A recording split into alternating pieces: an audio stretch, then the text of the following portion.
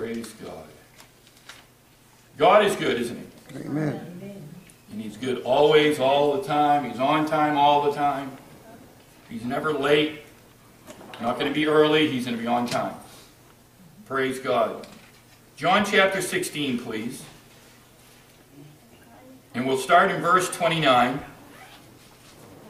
And I'd like to give you the title of this morning's message Do you now believe?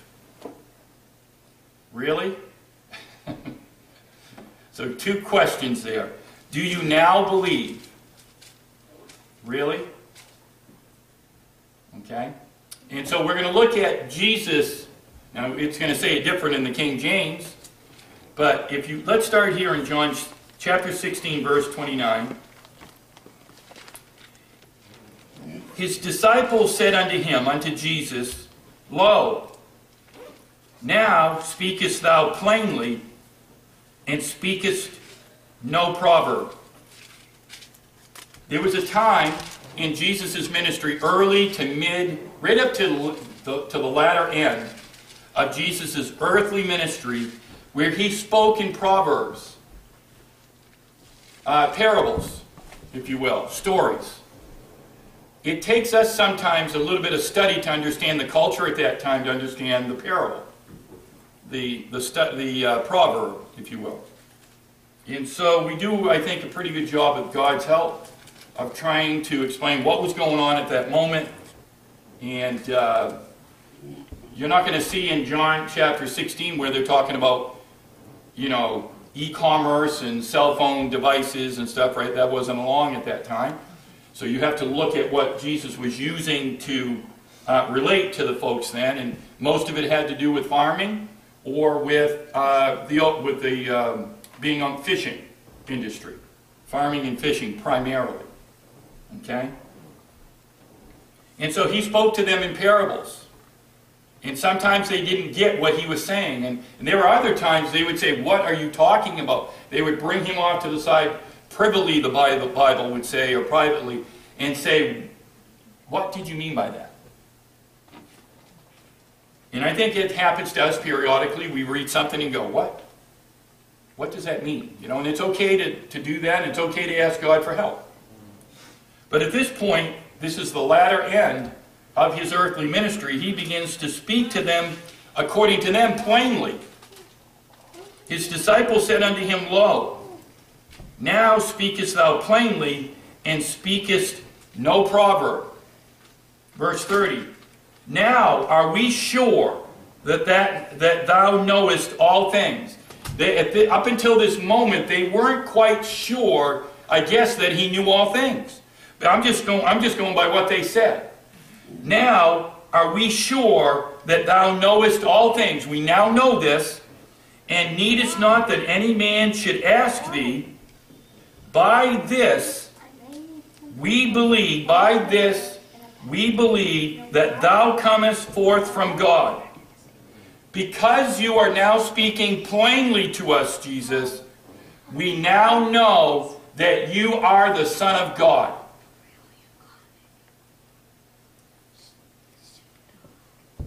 because he's not speaking to them in, in parables, in Proverbs, they said, in stories, but because you're speaking to us plainly, now we believe that you have come from God. Verse 31, and this is where the title came for this morning. Jesus answered them. Listen to his response. Do ye now believe? Now, however you want to put your inflection, is that how you say that? Mm-hmm. Inflectuate that, however you want to say it. He asked the question, Do ye now believe? Do you now believe? Do you see what happens when I change that just a little bit? Do you now believe? And I added the, into the sermon, into the title, as I believe God would have me, that the way he was saying it was, Do ye now believe? Really? Do you really believe now that I have come from God? Because I'm speaking plainly to you? He's going to move on. You see, the rubber is about to meet the road with his disciples. The rubber is about to meet the road. After Jesus makes this statement or question, do ye now believe? And I believe it's said in a way like, really? Do you really believe? And I, I, I think God wants us to ask that of ourselves. Do you, you say you believe, Keith, but do you believe really? Amen? I believe we're getting the same question from our Lord and Savior and our Master today. You see, the rubber's going to meet the road for me and you, isn't it? Faith is going to really be put to the test. If it isn't already, it has been, I'm sure, but it's going to again. Why can you say that, Pastor? Well, because that's life. Things are coming your and I's way that we don't know about.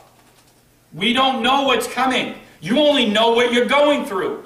I'm here to tell you, you're going to go through more that you don't know about. But he does. Listen to what he says in verse 32. This is what he's saying to the disciples Behold, the hour cometh. He didn't say, he, he said, Behold, the hour cometh. Behold, there's a time where the rubber is going to meet the road. You've been through things. I can look at each one of you and I can look in the mirror and I can see one there where the rubber has met the road. The question is this morning do you and I believe? If we're growing and maturing like we should, should we have more faith today than yesterday? Yes. We should have more faith today than yesterday. Theoretically, shouldn't we? Theoretically, we should. We're a day older. We're a day older in Christ. We should be maturing. Our faith levels should be on the rise, not on the decline. Amen? The disciples said, Because Jesus, you're now speaking the language that we can understand. You're, you're speaking clearly now. Now we get it. Now we believe that you have come from God. But Jesus said, Do you now believe? Verse 32 Behold, the hour cometh. Yea, is now come. Here comes where the rubber is about to meet the road. They made a big statement to the Son of God, and the Son of God calls them on it. Really? Let me tell you what's about to happen. Amen. How about that? How about I tell you what's about to come and about what's, what's about to happen before it happens? Amen? And he, this is what he's going to tell them. This is coming. Behold, the hour cometh, yea, is now come. Watch. That ye shall be scattered. Well, that don't sound too bad in itself, does it? But he's not done because there's a comma there. He said, The hour cometh. Actually, the hour has come. You are going to be scattered, every man to his own. Look at this. Look at these five words. And shall leave me alone. Can I, can I paraphrase it a little bit? When the rubber meets the road, you're going to ditch me.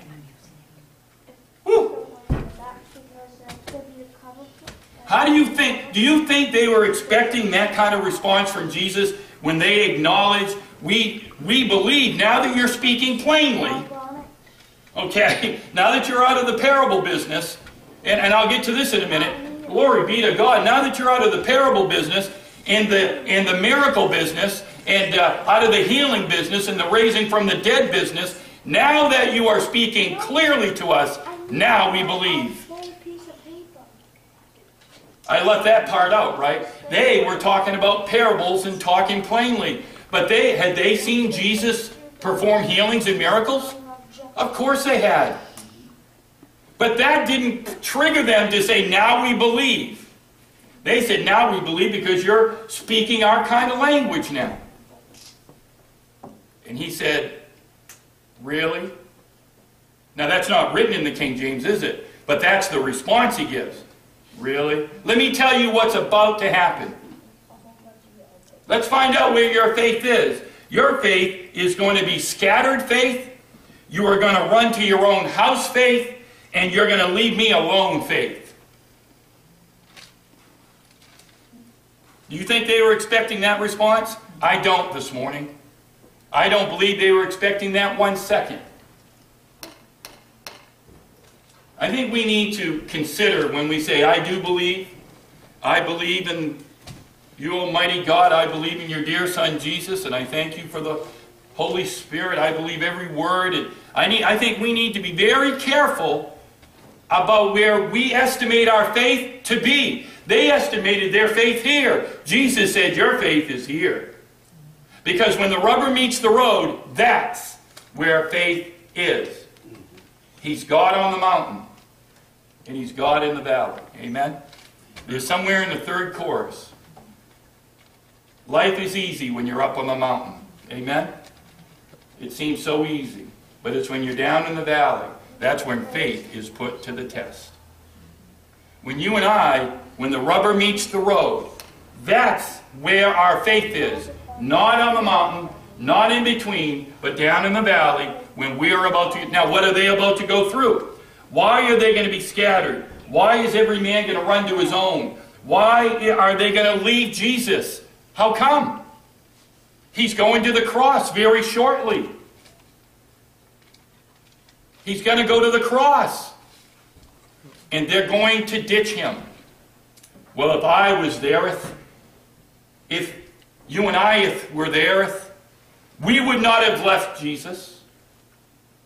Well, we weren't there. They were. And what Jesus said, did that come to pass? Yes. You want to, it definitely came to pass. They were not expecting that response from the Son of God. But he, he let them know, your faith is overrated. Do you now believe? Really? We'll see. You see, the hour cometh the hour cometh, what he was speaking about was Jesus himself going to the cross. That's the event he was talking about. But let's continue in verse 32. Jesus said, Yet I am not alone. Even though you're going to run, I'm not alone. Because the Father is with me. Verse 33, Jesus said, These things I have spoken unto you. Here's why I have spoken this unto you. Here's why I have just said this unto you. I'm going to explain why I just said it. These things I have spoken unto you, that in me ye might have peace. In the world ye shall have tribulation, but be of good cheer. I have overcome the world. He told them, even though your faith is a little overrated. Don't fear. Don't fear when you're scattered and you're running about. He didn't tell them he was going to be upset with them for leaving him alone because he said, The Father is with me. He's reassuring them that he is the Son of God. And tribute, hard times are coming for you. But believe be of good cheer. Be of good courage. Does that sound like fear? He didn't tell them to fear this. He said, Be of good courage. Be of good cheer. I have overcome the world. I was reading this the other day and it just come popping out over the off the pages and then it came out of the Bible and then down onto this document here. And as having the privilege to preach it this morning, I, I know this is from God. And I know it's an anointed message from God. We need to be careful that we don't overrate our faith. Amen. Praise God. Because when the rubber meets the road, we're going to find out. Do you, how many other people find out when the rubber meets the road for you? Everyone who knows you, right? Everyone that knows. We can see it. You can see it in me. Is it, is it normal to have the faith knees buckle? Yeah, it is. But ask God to help you. I'm going to ask God to help me when things, when I feel like being scattered, when I feel like running into my own, that I tend to leave Jesus and try to lean on my own. I'm going to ask God to help me with that. The apostles, uh, in Luke chapter 7, if you want to go there, if you want to go to Luke chapter 7, I'll give you the verses in a moment, just a couple of verses. The apostles asked Jesus specifically to increase their faith. So there was a time where they knew that their faith was low, and they asked him to increase their faith. If you look in Luke chapter 7 and verse 5, very specifically, and the apostles said unto the Lord, Increase our faith. It was a three word prayer. Luke 7 and 5. Did I get that right? No. Oh, what did I miss? That's for he loveth our nation hath built us Oh, I am sorry. I put that down wrong. I'll have to find it for you. I'll do that while I preach. That's hard to do. I'm not like the gals here that can multitask, but I'll try to do that. Okay? Hold on here. We'll get right to it. I'm sorry. It's Luke 17, verse 5. I forgot the one next to the 7. that is a typo on my part. It is Luke chapter 17 and verse 5. Does that make sense? There we go. I apologize. And the apostles said unto the Lord, Increase our faith. A three word prayer. Is that an appropriate prayer for you and I? Yes. Increase my faith. Yes. Yes, it's appropriate and uh, it's probably needed more than we know. Luke 7, verse 6. Let's see how the Lord handled this. Look at the first four words in verse 6. And the Lord said, there is the hint on how faith is increased. It didn't have to necessarily do with the mustard seed. That's what's coming after the comma.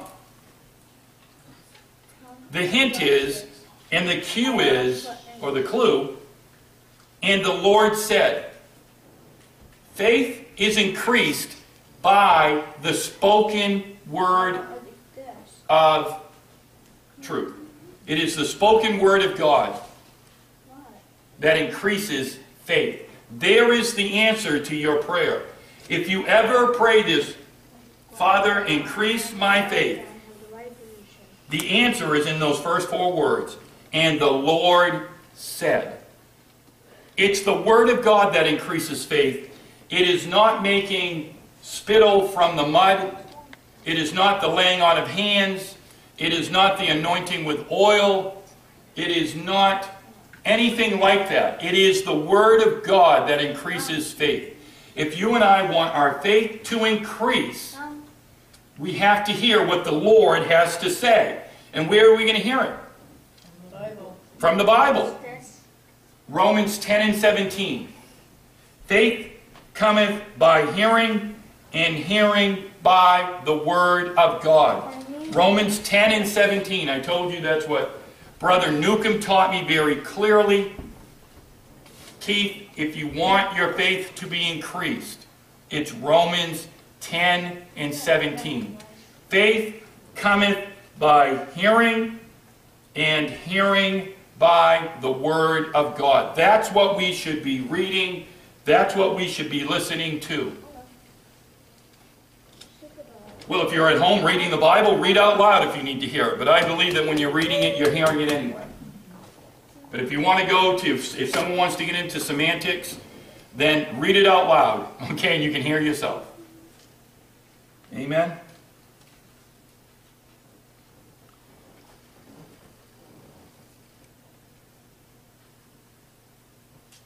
Romans 10 and 17. And I told you about what Brother Newcomb said, how he taught it to me. So then faith cometh by hearing, and hearing, and hearing, and hearing, and hearing. It's present tense, continuous. That's how faith is increased. Amen? Because, behold, brothers and sisters, the hour cometh. Okay? The hour is going to come. It may be now, but the hour is going to come when you and my faith, our faith, is put to the test.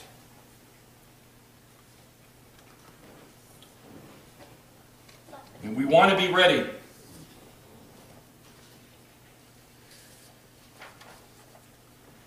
I know exactly how I would respond if I got someone else's report. Isn't that easy when you hear someone else's, what they're going through? Isn't it easy to spew off a real spiritual answer when it's really not you involved? Isn't it easy to tell them to trust in the Lord? Isn't it easy to give the advice when it isn't you being shook up? But it's when you and I are shook up, we need to take our own what? Advice. Take God's advice. Amen? Take God's advice. You see, the hour comes that our faith is going to be put to the test. How many of your faith is being put to the test right now? Right now. It will praise God. I mean, it's that that will pass. There may be I, there's going to be more tests coming. Not being negative, Nelly. I'm just saying if the Lord was here, I believe God would say the hour comes. And he could tell you exactly what's coming. Do you think they understood what he said when he made that statement? I don't think they had a clue what he they didn't know anything necessarily about the cross. He had told them. He had told them before what was going to happen to him. They weren't connecting the dots. But they made a very bold statement. Because you speak plainly now, now we know that you're the Son of God. And he went, Yeah, let me tell you what's coming, and let me tell you what you're going to do. And he was what? 100% correct.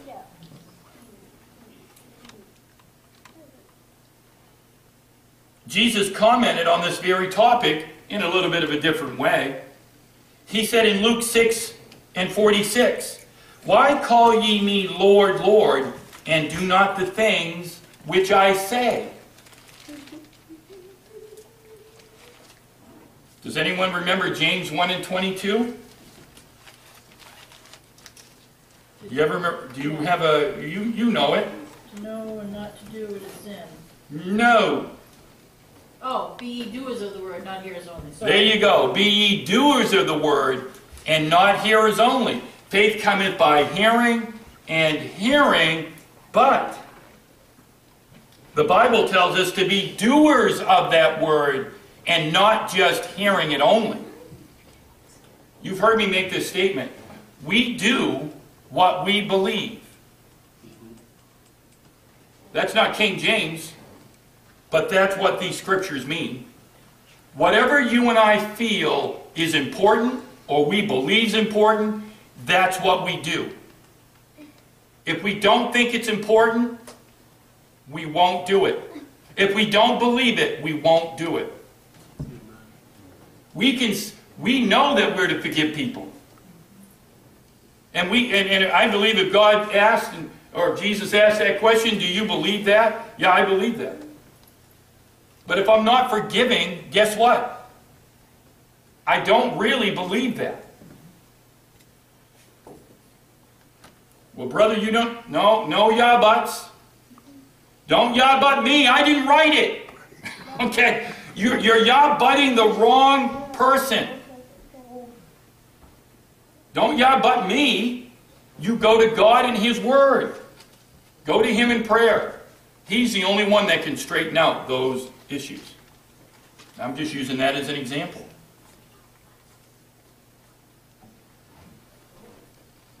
And I think sometimes we say, yeah, we believe the whole Word of God, but we don't. Now, there's a difference between saying, I believe the whole Word of God, and not doing something I don't know about yet. I haven't learned it. But after I've learned about something and I'm not doing it, then to say that I believe the whole Word of God and not do what I've heard, the Bible says, "Be not ye do, be, uh, be doers of the Word and not hearers only." Fooling your own selves. That you're, we're faking ourselves out. That's what deceit. You're faked out. You're deceived. We can't say I believe the whole Word of God when I'm not doing it. Now, there's a difference between a, a, a young Christian and a little more mature Christian because of the knowledge, the working knowledge.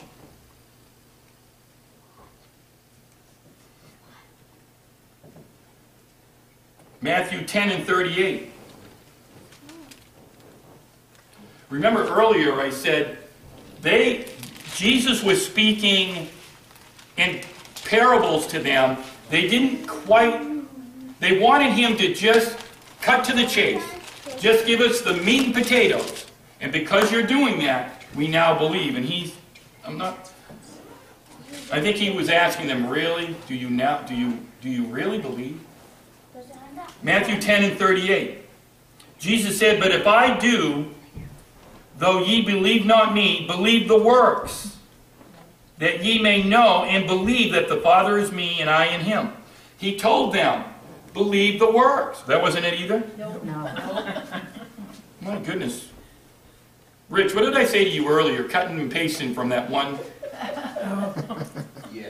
Hold on, I'm going to get there for you. This is why I- it's following along. no, it's a good thing that you do follow along.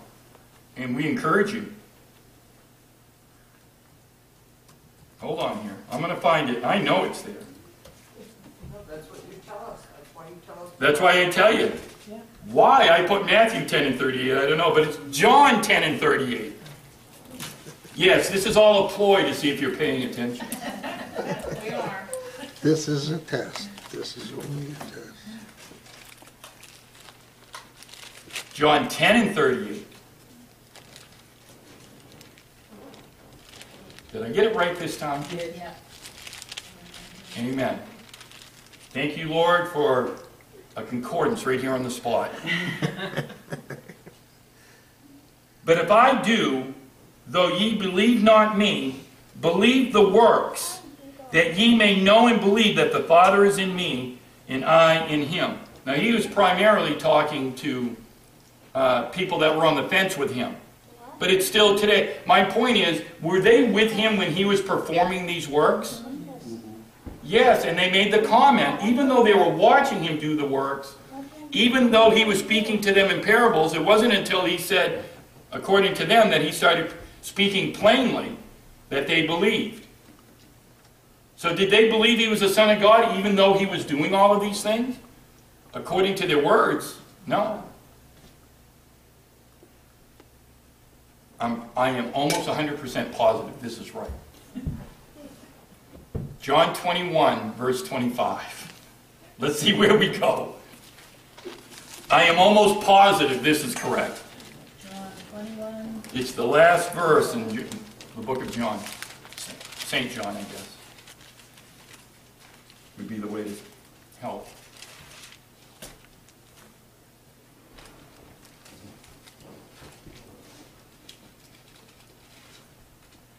I don't even dare to read it right now, but I'm going to try. And there are also you got it. I got it? Woo! I got a thumbs up. John 21 and 25. And there are also many other things which Jesus did, the which, if they should be written every one, I suppose that even the world itself could not contain the books that should be written. You and I can read in those four Gospels everything he did, and there was a lot. But John records that if they had written everything down, the world itself could not have contained the books. They, can we say it this way? The disciples seen Jesus do a lot. They seen a lot. They knew that he was speaking in parables. But they didn't say they really believed until he started speaking plainly to them. Well, brothers and sisters, we've experienced a lot in our lives what God has done too. And we've seen a lot that God has done in other people's lives. We've got God's Word. We've got the parables that are, can be explained.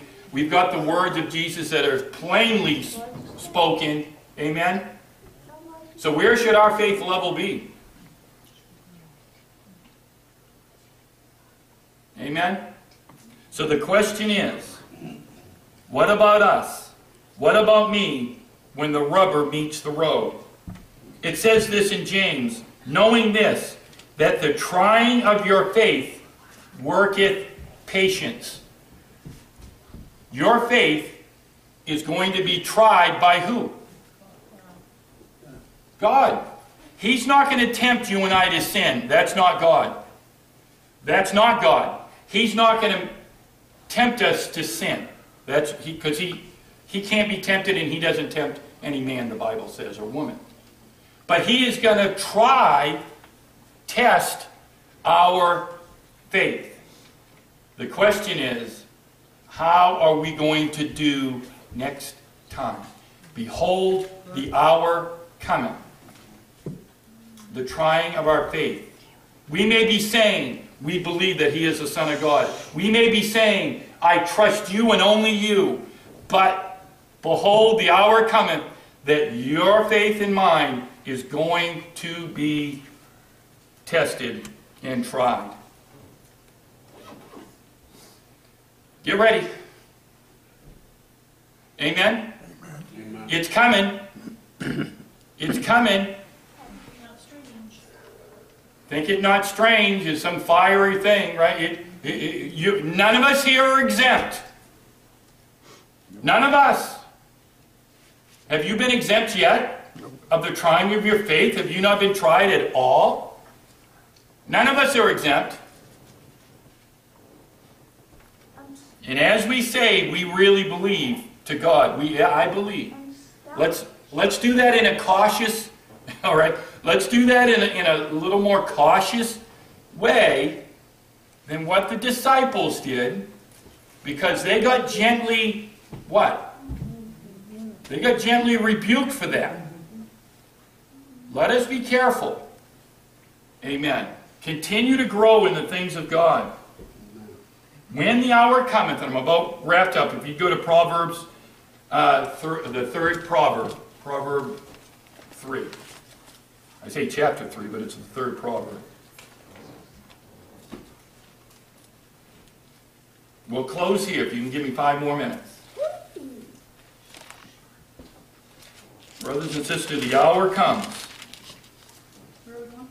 Proverbs chapter 3, verse 5. Does it start off with trust in the Lord? Yep. Amen. Two in a row.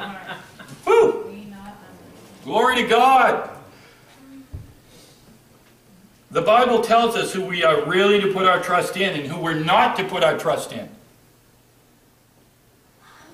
And this is where most of us, I believe, every born again believer fails from time to time.